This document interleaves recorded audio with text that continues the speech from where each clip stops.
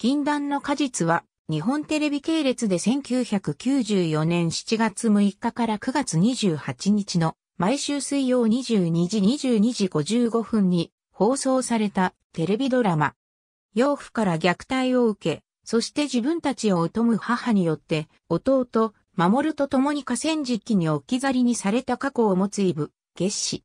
姉として世話をしてゆくうちに愛し合うようになり妊娠。そして誰にも告げぬまま出産した子を母に託し、総合病院の看護師に就職。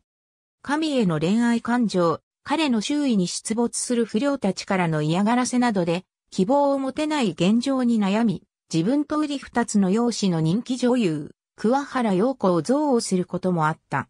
ある時、勤務先の病院に意識不明になった陽子が入院。そして、陽子の所属事務所の社長である内会から、陽子の身代わりを依頼される。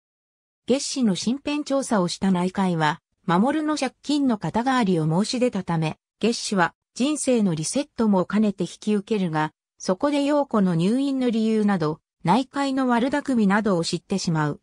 同時に、月種ではないかとして出現、付きまとう神により、逃れたはずの感情に気づく。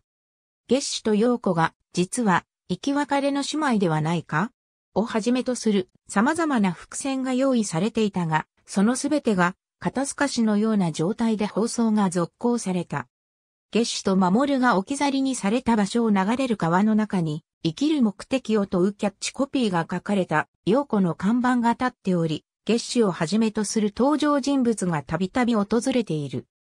罪深き愛、姉と弟して繰り返す過ち狂おしき常時上愛、偽の姉と殺人、戻れぬ二人姉失逆転の葬儀指定の運命の子、裂かれた愛の逃亡逃亡の果ての決心死を覚悟の掛け合いのため二人死んだ故郷へ母子再会して愛、最後の時ソフト化は2020年現在実現していない。